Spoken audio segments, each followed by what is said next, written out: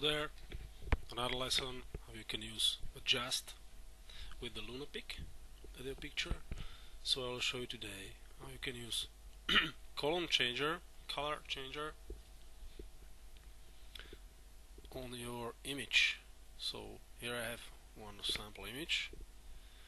I'll go to adjust, click on color change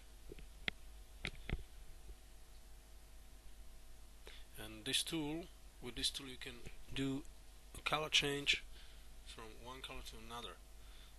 You have fuzz here 20% you have to enter a new color here. So for example I want orange orange and click on the image color you would like to change. So when I click here on the green it will change to orange or you can choose another color. So for this example I will choose orange so click. Green one and here we have the changed image. So that's the color change. Or